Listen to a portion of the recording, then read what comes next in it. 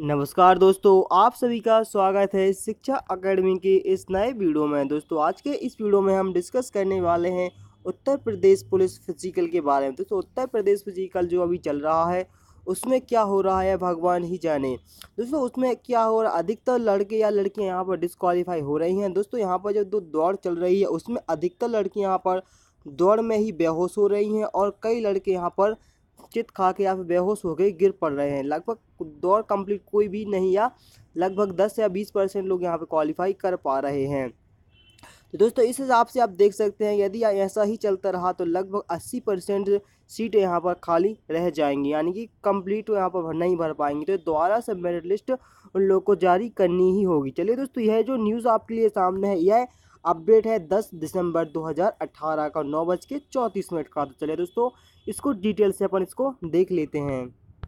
ठीक है, दोस्तों इसमें जो कहा की न्यूज़ है, ये दोस्तों बरेली के पी ए सी मैदान में चल रही पुलिस आरक्षी भर्ती दौड़ में रविवार को अजब नज़ारा दिखा।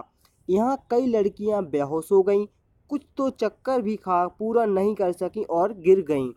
एक ही एंबुलेंस की वजह से समस्या आई और भर्ती बोर्ड के चिकित्सकों ने वही उनका उपचार किया और तीन दिन से भर्ती प्रक्रिया चल रही थी लिखित परीक्षा प्रमाण सत्यापन के बाद अभ्यर्थी दौड़ में दौड़ हो रही है यानी कि पहले इनका डॉक्यूमेंट वेरिफिकेशन हो रहा है फिर उसके बाद दौड़ हो रही है यहाँ पर जैसे कि आपको मालूम होगा कि लड़कों के लिए 25 मिनट में 4.8 किलोमीटर और लड़कियों के लिए 14 मिनट में 2. फोर किलोमीटर दौड़ यहाँ पर लगानी है जिसे क्वालिफाई करने के लिए यहाँ पर दौड़ लगानी है। और दोस्तों रविवार को दोपहर पहली बार यहाँ पर लड़कियों की दौड़ हुई और पूरे चक्कर लगाने से पहले ही यहाँ पर लड़कियाँ गिरने लगीं।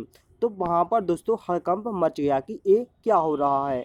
आज के दौड़ को, कोई क्यों नहीं निकाल पा रहा है? दोस्तों जो यहाँ पर अभी दौड़ फ़िज़िकल हो रहा है इसमें ना जाने क्या हुआ कुछ कह नहीं सकते। लेकिन दोस्तों, यहाँ पर कुछ गड़बड़ सा लग रहा है, क्योंकि यहाँ पर बहुत सारे लड़का, ए, लड़की यहाँ पर दौड़ कंप्लीट नहीं कर पा रहे हैं।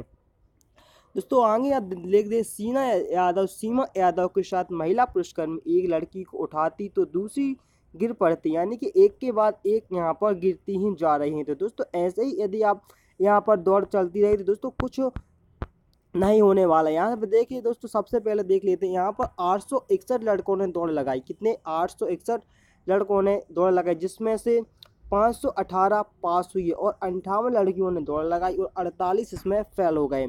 इसके मुताबिक रोज़ 40 फ़ीसदी अभ्यर्थी दौड़ में फेल हो रहे हैं। इसमें भी ज़्यादा संख्या शहरी पृष्ठभूमि वालों की है, यानी कि जो शहर के हैं, वह ज़्यादा मेहनत नहीं करते, वह दौड़ ही नहीं पाते। तो दोस्तों, आप इससे आप अंदाज़ा तो लगा ही सकते हैं यदि 800 में से 518 यहाँ पे क्वालिफाई हो रहे हैं दौड़ में। इसके बाद दोस्तों, दूसरी स्टेज यहाँ पर आएगी यहाँ पर फाइनल लिस्ट के लिए। दोस्तों, यदि फाइनल लिस्ट तो नहीं डलेगी क्योंकि जितने ही यहाँ पर दौड़ में क्वालिफाई होंगे, उनके, उनका डायरेक्ट यहाँ पर सिलेक्शन हो जाएगा मेडिकल के बाद। जैसे मेडिकल में जितने लड़के यहाँ पर क्वालिफाई होंगे, उनको डायरेक्ट ज्वाइनिंग मिल जाएगी। तो दोस्तों, आप इस तरीके से दौड़ चलती रही तो इसमें लगभग बहुत सारे लोग यहाँ पर डिसक्वालीफाई हो जाएँगे और उनसे कम से कम आधी सी ज़्यादा सीटें यहाँ पर खाली रह जाएँगी। इसलिए यहाँ पर दूसरी मेरिट लिस्ट डालने की पूरी पूरी संभावना है। तो दोस्तों, इस वीडियो में बस यही न्यूज़ आप तक पहुँचाने की, पहुंचानी थी तो आप तक पहुँचा दी। यदि आपने दोस्तों यह न्यूज़ आपको पसंद आई हो तो प्लीज़ चैनल को सब्सक्राइब करें, ताकि जो भी नया अपडेट आएगा, आप तक आसानी से उसको पहुँचा सकूँ। तो चलिए दोस्तों, मिलते हैं अगले नेक्स्ट वीडियो में। तब तक के लिए दोस्तों बाय